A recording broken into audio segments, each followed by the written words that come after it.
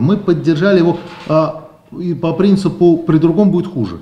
То есть это человек, который действительно, ну это мое убеждение, я не буду говорить от имени партии, мое убеждение, что это человек, который, ну хотя бы может быть на низовом уровне, на уровне э, уборки от снега, контроля за муниципальными образованиями, чтобы там был более-менее порядок, потому что, ну, жители Энгельса сказали, что это, ну, пусть не идеальный, да, не такой, как они хотели, но один из лучших э, тех, кто правил ну, в последнее время, скажем так, именно правил, да, потому что до него там именно правили.